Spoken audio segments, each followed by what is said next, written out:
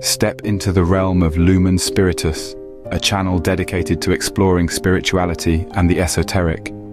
Join us on a journey of enlightenment and discovery as we delve into the mysteries of the unseen. In this video, we explore the hidden connections between ancient mystical traditions and martial arts practices. Discover how esoteric philosophies have shaped techniques and mindsets across different cultures, influencing the spiritual and physical aspects of these fighting arts. Support our channel's growth and future content by donating today. Every contribution, no matter how small, helps us bring you even more captivating videos. Plus, in the description below you'll find additional insights and our top 10 videos from Lumen Spiritus for further exploration. Could the ancient masters of martial arts have been practitioners of the occult? To unravel this enigma, let's define our terms. Occult refers to hidden knowledge, especially that which is esoteric and mystical. Martial arts, on the other hand, are systems of combat and self-defense. Intriguingly, across various cultures, martial arts often harbor a spiritual dimension that transcends mere physicality. This blending of the mystical with the martial reveals a rich tapestry of practices where the physical meets the metaphysical. Let's dive into the mysterious world where martial prowess meets mystical practice. In the heart of Chinese martial arts lies an enigmatic force known as Qi. This concept, deeply intertwined with the esoteric and mystical, refers to the life force or energy that flows through all living things. It's an integral part of Kung Fu, not merely as a physical strength, but as a spiritual energy that can be harnessed and directed. The legendary martial artist Zhang Sanfeng is often celebrated for his profound connection to Qi. It is said that his exceptional abilities were not just the result of physical training, but also his deep meditative practices and his alignment with the Taoist traditions. These traditions viewed Qi as a pathway to achieving harmony and enlightenment, connecting the martial arts not only to the body but to the spirit and the universe. A noted martial arts historian once stated, the mastery of Qi and Kung Fu transforms it from a method of combat to a meditative and healing art. This perspective highlights the transcendent nature of Qi, suggesting that its practice can lead to spiritual awakening and self-realization. Thus, Qi transcends mere physicality, entering the realm of the spiritual. Korea's Hapkido is more than just self-defense, it's a gateway to shamanic journeys. Tracing its roots back, Hapkido is steeped in a rich tapestry of shamanic traditions, integral to Korea's cultural and spiritual landscape. This martial art is not merely about physical prowess. It involves deep spiritual engagement and rituals that align practitioners with cosmic energies. The shamanic influence is evident in the meditative practices and rituals that are central to Hapkido training. These elements foster a connection to the spiritual world, believed to enhance inner strength and healing abilities.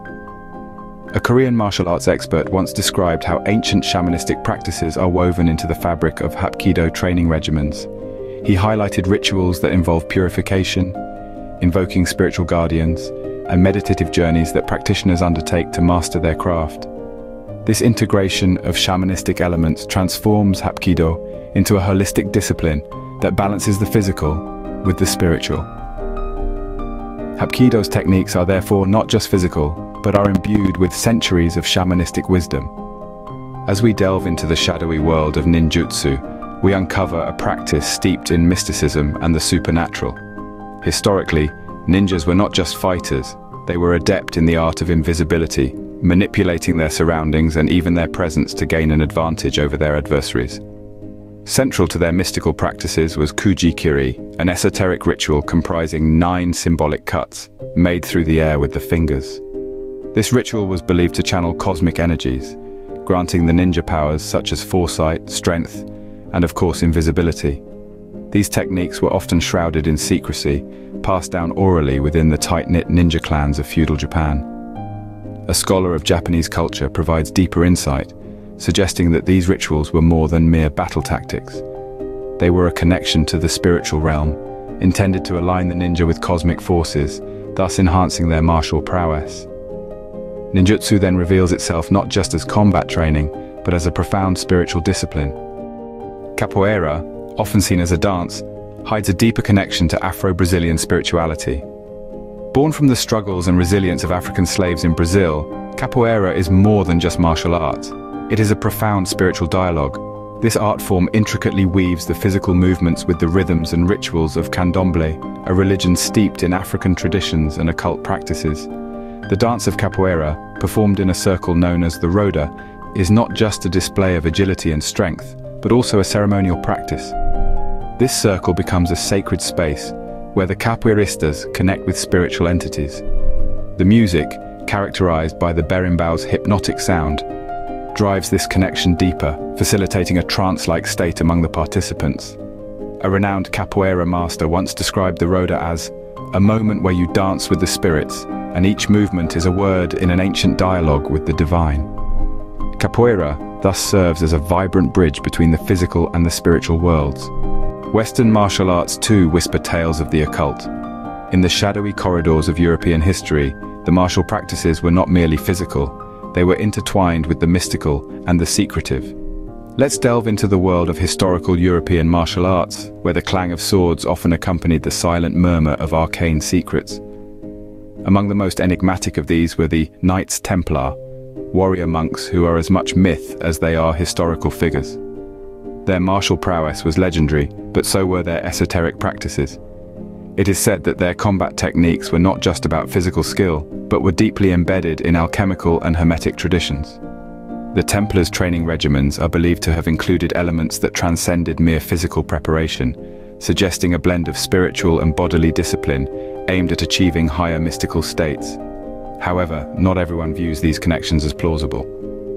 A skeptical historian might argue that the links between Western martial arts and occult practices are often overstated, they suggest that what we interpret as occult might merely be the misreading of religious and philosophical symbolism that was common in medieval texts and practices.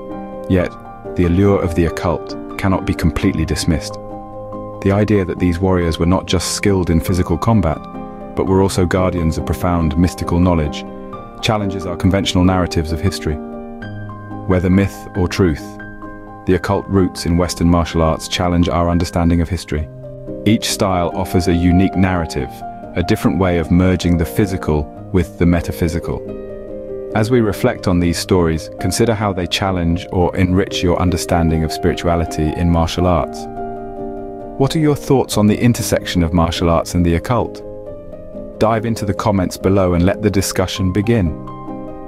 Exciting and mind-bending topics are coming to our channel. If you found value in this video, please hit the like button and subscribe to Lumen Spiritus for even more captivating mysteries. Additionally, consider supporting our channel by donating via the PayPal link below. Stay tuned for our next video.